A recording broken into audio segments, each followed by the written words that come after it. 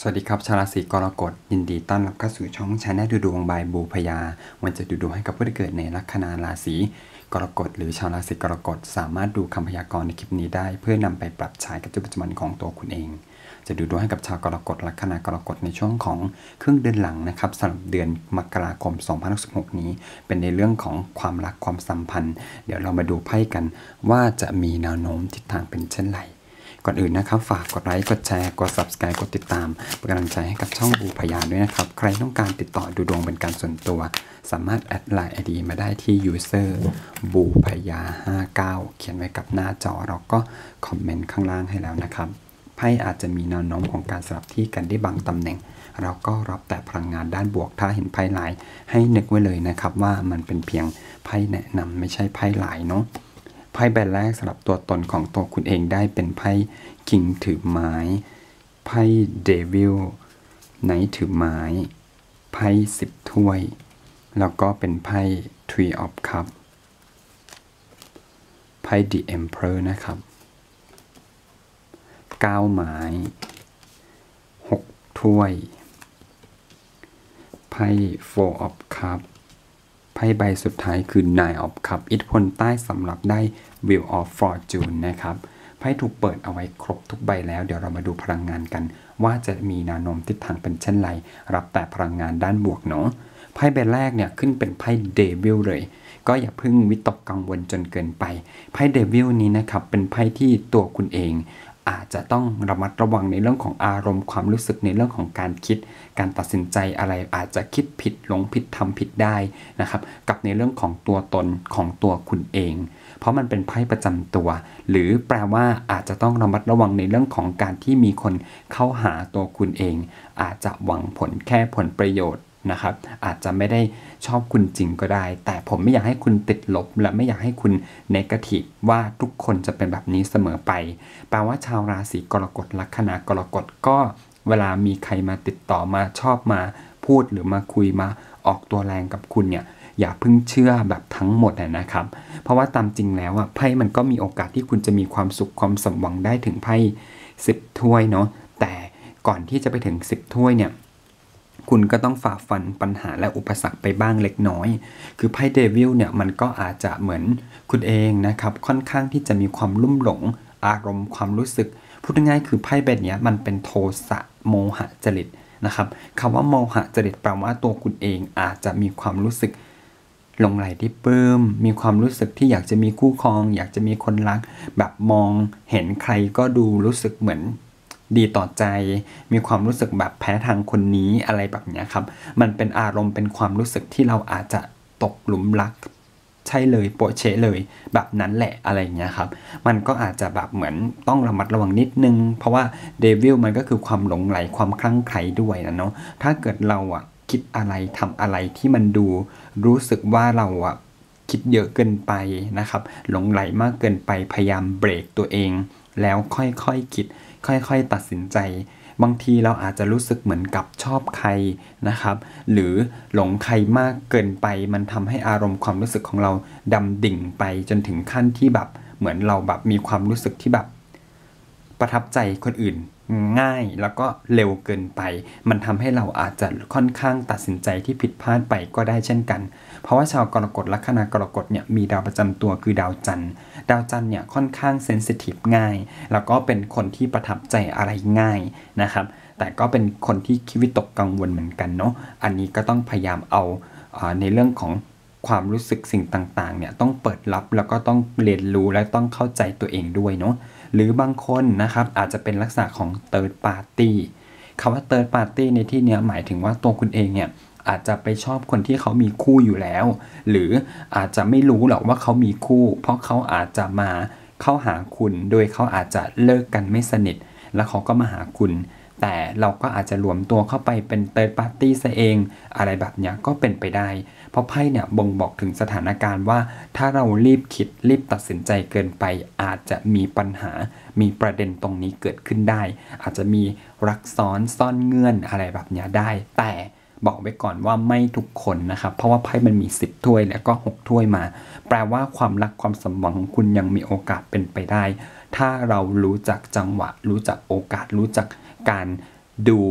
กันไปในระยะยาวและ long term นะครับ พยายามใส่ใจตัวเอง ดูแลตัวเอง รักตัวเอง โฟกัสทุกอย่างในระยะยาว เพราะว่าตอนนี้ถ้าเราจะตัดสินใจตอนนี้บอกเลยนะ Devil รอคุณอยู่ ดังนั้นอย่าเพิ่งรีบตัดสินใจ มองการไกลไปในระยะยาวก่อน สิ่งที่คุณควรปฏิบัติ นี่คือข้อดีของการดูไพ่ไพ่เนี่ยบอกว่าช่วงนี้อย่าเพิ่งตัดสินใจ เพราะถ้าตัดสินใจไปแล้วเนี่ยมีโอกาสเป็นเติร์ดปาร์ตี้มีโอกาสที่จะมีความรักความสัมพันธ์ที่อาจจะยังไม่ยั่งยืน หรืออาจจะเป็นคู่ที่เขายังไม่ใช่คู่ของคุณ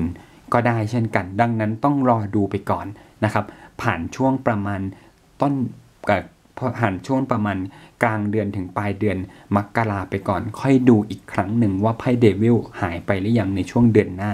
อย่าเพิ่งตัดสินใจในเดือนนี้ เดือนนี้เนี่ยแค่ต้องคุยกันได้นะ พัฒนาความสัมพันธ์กันได้ แต่อย่าเพิ่ง commitment อย่าเพิ่งที่จะปักใจและเชื่อใจและรักเขาตอนนี้นะครับ ครึ่งเดือนมันคงไม่นานเกินไปอะ่ะ คุณก็ลองขยับไปอีกสักพักหนึ่งแล้วกัน เพราะว่าเป้าหมายของคุณเนี่ยต้องมองการไกลในระยะยาว ก็คือไพ่ก้าวถ้วย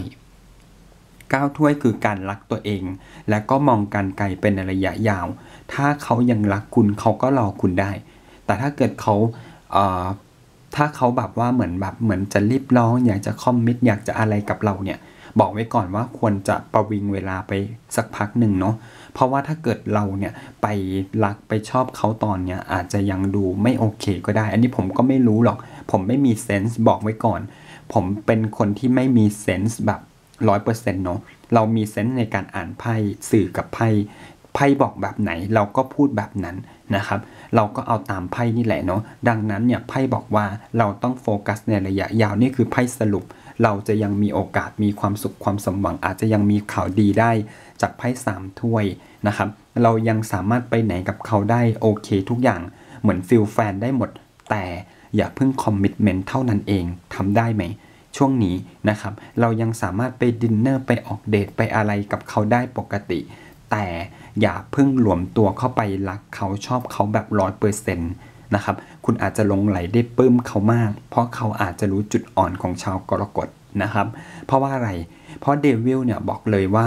มีมีแผนการมีกลยุทธ์ มีลักษณะของการที่รู้รู้ว่าอีกฝ่ายหนึ่งต้องการอะไร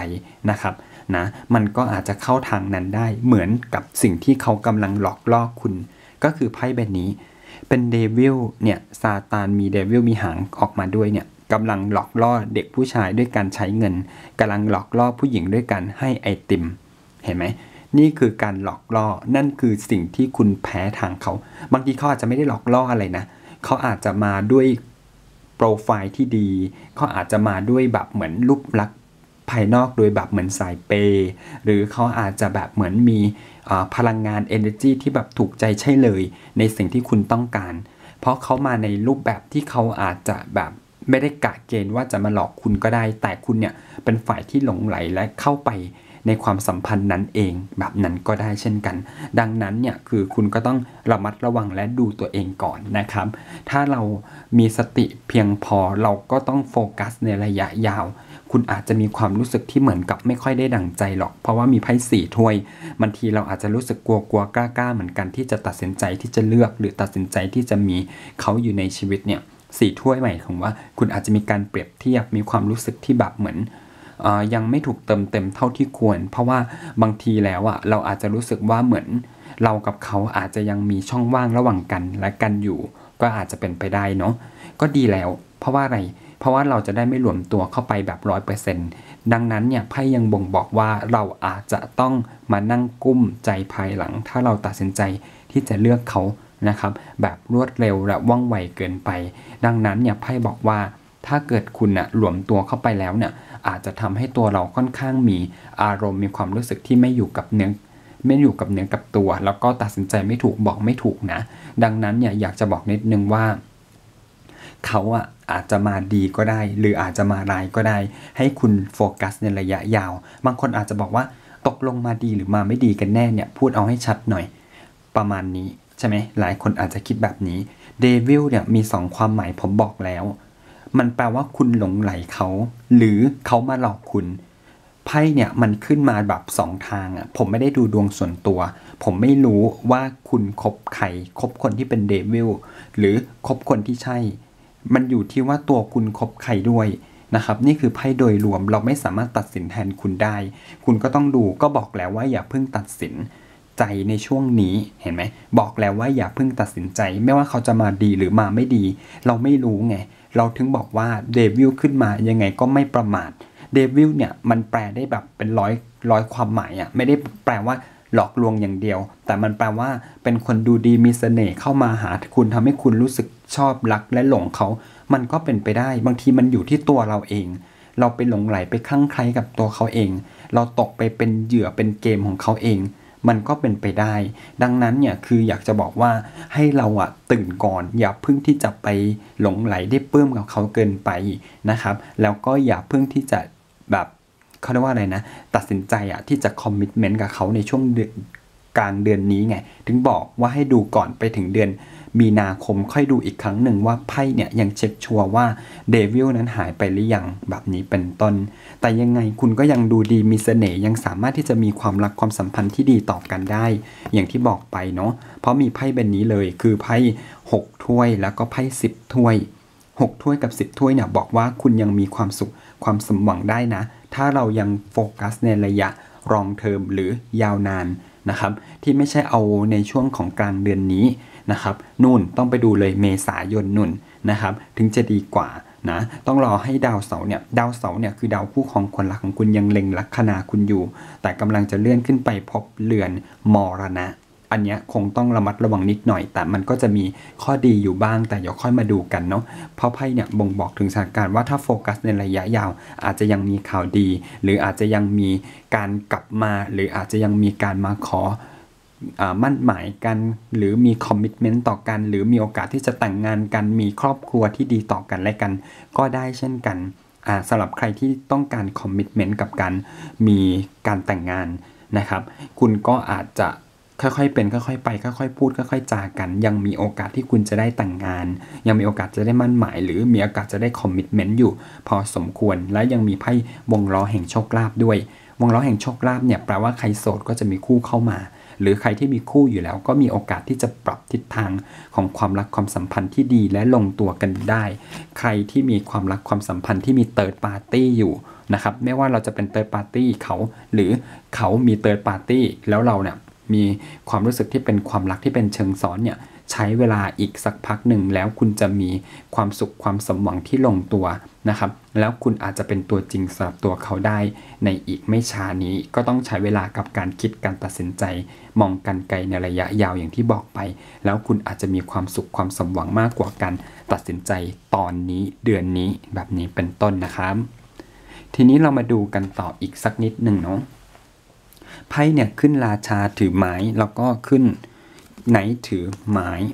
ไพ่เป็นเนี้ยแปลว่าถ้าเรามีแผนการมีการวางกลยุทธ์การวางแผนการมองการไกลในระยะยาวเนี่ยมันจะทำให้ตัวคุณเนี่ยสามารถไปถึงเป้าหมายจุดมุ่งหมายความสำเร็จกับความรักความสัมพันธ์ที่ดีต่อกันและกันได้มากขึ้น สามารถที่จะมีความสุขความสมหวังที่เหมือนกับไปแนวโน้มทิศทางที่ดี และมีความสุขที่อาจจะทำให้ความรักของคุณนั้น แปลเปลี่ยนไปในทิศทางที่ดีและประสบความสำเร็จมากขึ้นนะครับ แบบนี้เป็นต้นเนาะและยังมีโอกาสที่คุณจะมีความมั่นคงกับความรักความสัมพันธ์ที่ดีอยาก